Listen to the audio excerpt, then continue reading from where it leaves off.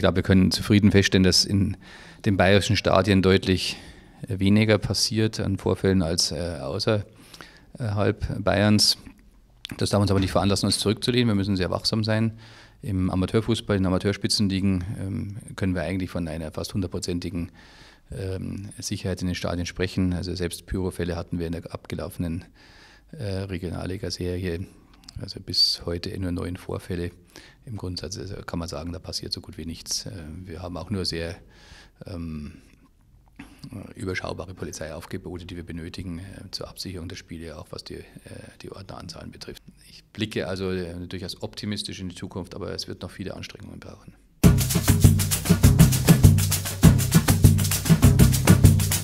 Ja, das Thema kommt alle paar Jahre äh, immer wieder mit auf den Tisch und man darf auch nicht den Fehler machen, äh, einfach zu sagen, darüber äh, wird nicht gesprochen, da ist nichts. Fakt ist, dass Tätigkeiten, körperliche Attacken gegen Schiedsrichter so gut wie nicht vorkommen. Das ist statistisch belegbar.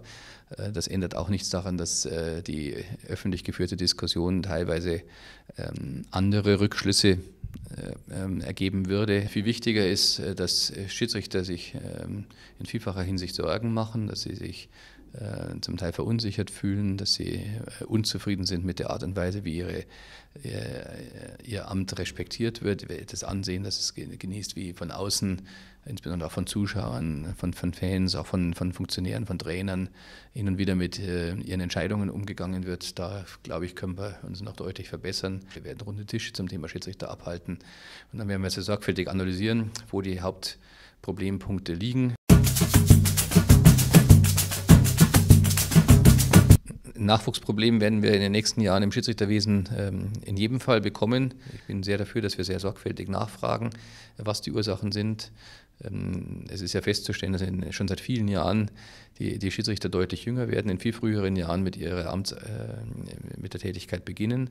Ähm, viele von denen dann äh, am Ende der Schulausbildung oder der, der, der Berufsausbildung dann mit, dem, mit der Schiedsrichtertätigkeit aufhören.